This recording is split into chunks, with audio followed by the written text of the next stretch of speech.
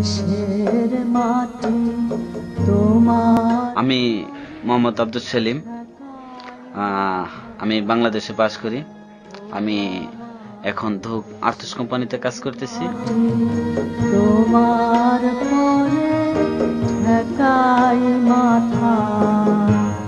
Bangladesh travel বলে যে সেলিম তুমি ইরাক যাও ইরাক তুমি বাংলাদেশি বিশ হাজার টাকা বেতন পাবে। আমাদের বলছিল যে কোনো আমেরিকান সংস্থায় কাজ করব, কিন্তু আসলে আমরা আমেরিকান আমরা যে এখানে রাস্তায় কাজ করি, ক্লিনার সব মানে বাংলাদেশ ট্রাভেল এজেন্সি যা বলেছে, পুরাটাই মিথ্যা কথা।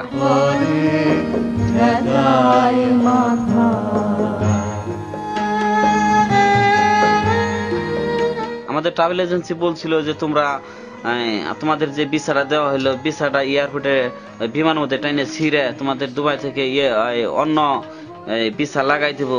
মানে যা বলছে সব মিথ্যা। তো আমরা এদেশে আসে আসলে মূলত অনেক ভুলই করছি। তবে এখানে আমাদের কোনো আকামা নাই, কোনো নিশ্চয়তা নেই। এনি টাইম যুদ্ধ লাগতে পারে, কোনো নিশ্চয়তা নেই। কিছু কিছু লোক এমনি মারা যাইতেছে। এই, তবে অনেক সমস্যা।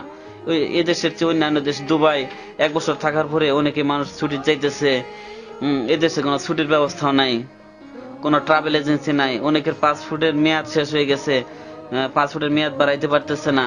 বহুবিধ সমস্যা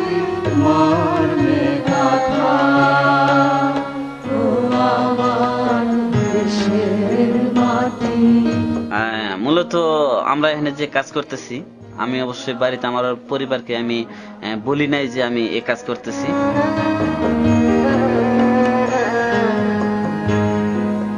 তোমার তোমার